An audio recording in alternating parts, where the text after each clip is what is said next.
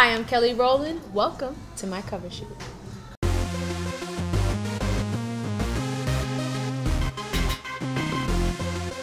Today's shoot was absolutely incredible.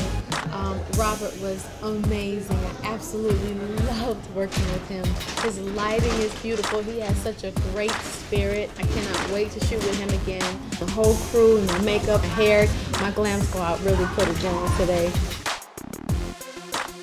Today's shoot was amazing with Kelly Rowland. She is beautiful and photogenic and has tons of energy.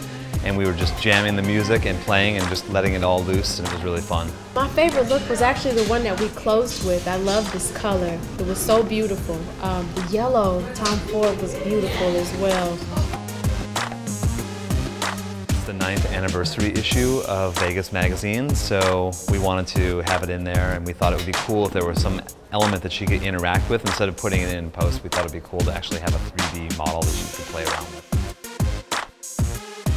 My new song, Need a Reason, is um, actually uh, produced and written by Bei Maejor, and um, I put a little, little bit of something in there myself.